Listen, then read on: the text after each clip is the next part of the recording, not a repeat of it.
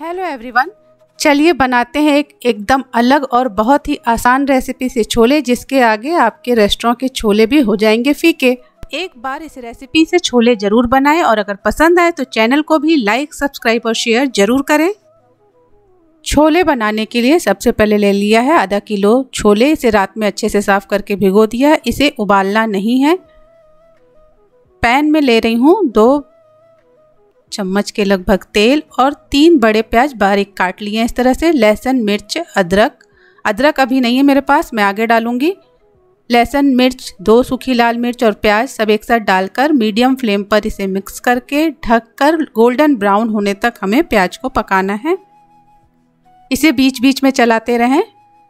आप प्याज फ्राई करने के लिए एक दो चम्मच तेल और बढ़ा सकती हैं। इससे फटाफट ये फ्राई हो जाएगा। मैं घर में थोड़ा कम तेल मसाला यूज़ करती हूँ, लेकिन यकीन मानिए, बहुत ही कम तेल में ये रेस्टोरेंट से भी अच्छे स्वाद का छोला आपका तैयार होगा। जब तक प्याज हमारे रेडी हो रहे हैं, चलिए मसाला एक बोल में ले लेते हैं। यहाँ ले रही हूँ डेढ़ चम्मच धनिया पाउडर एक चम्मच जीरा पाउडर आधा चम्मच के लगभग काली मिर्च पाउडर छोटा चम्मच हल्दी पाउडर एक छोटा चम्मच लाल मिर्च पाउडर और एक चम्मच कश्मीरी लाल मिर्च पाउडर इन सबको कर लें अच्छे से मिक्स मैंने अदरक नहीं डाला था तो मैं यहाँ डाल रही हूँ अदरक का पाउडर। आपके पास अदरक है तो आप पहले ही तड़के में डाल दीजिएगा। प्याज भी हमारा रेडी हो गया है, अब गैस यहाँ पर ऑफ़ करें और इसे ठंडा करके मिक्सी में इसका हम पेस्ट बना लेंगे। अब गैस पे चढ़ा रही हूँ कुकर इसमें डाला है टू टेबल स्पून के लगभग ऑयल और ये अच्छे से गर्म हो जाए तो तड़का डालेंगे एक बड़ी इलायची क्रश करके। तेज पत्ता एक एक दालचीनी का टुकड़ा, सूखी लाल मिर्च जीरा और साथ ही साथ डालेंगे हींग। जीरा चटकने लगे तो हमें मसाला डालना है, पाउडर फॉर्म में डालना है तो फ्लेम को तुरंत ही लो करेंगे, इसके बाद मसाला डालेंगे। मसाले को फटाफट चलाएँ और साथ ही मैं एक जरा सा चना डाल के मिक्स कर रही हूँ, जिससे मसाला हमारा जले ना। और अब सारे चने को कुकर में ट्रांसफ़र करेंगे। चने को अच्छे से मिक्स कर ले मसालों में, जिससे जले ना। और साथ ही डाल देंगे स्वाद अनुसार नमक और ढककर लो फ्लेम पर पाँच मिनट तक चलाते हुए भूनेंगे।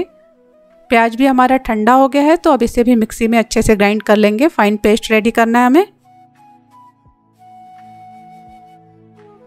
इसमें बहुत देर तक हमें प्याज मसाला भूनना नहीं है और छोले भटूरे चावल, पूड़ी सबके साथ बहुत अच्छे लगते हैं। चने हमारे लगभग तैयार हो गए हैं। तो अब इसमें डाल रही हूँ दो छोटे चम्मच छोले मसाले। इसे भी अच्छे से मिक्स कर देंगे। मीडियम फ्लेम पर एक दो सेकंड के लिए ऐसे ही इसे चला लेंगे। और अब डालेंगे प्याज वाला पेस्ट। इसे भी कर लें अच्छे से मिक्स। ग्रेवी के लिए पानी आप अपने आवश्यकता अनुसार डालें। सूखा बनाना है तो थोड़ा कम पानी डालें। ये छोले आपको राइस के साथ भी बहुत अच्छे लगेंगे तो ग्रेवी अपनी आवश्यकता अनुसार पानी डाल के कुकर बंद करें। एक सीटी और लगभग आधा घंटा लो फ्लेम पर छोले को पकने दें। छोले हमारे पक गए हैं, आप एक चना दबाकर चेक कर लें और चटपटा बनाने के लिए मैं यहाँ डाल रही हूँ एक चम्मच अमचूर पाउडर आप चाहें तो उसकी जगह इमली का पल्प भी डाल सकते हैं। सर्व करने के लिए छोले हमारे रेडी हैं, त्यौहार हो, बच्चों का बर्थडे हो या फिर आपका संडे फटाफट ये छोले आप बना लेंगे।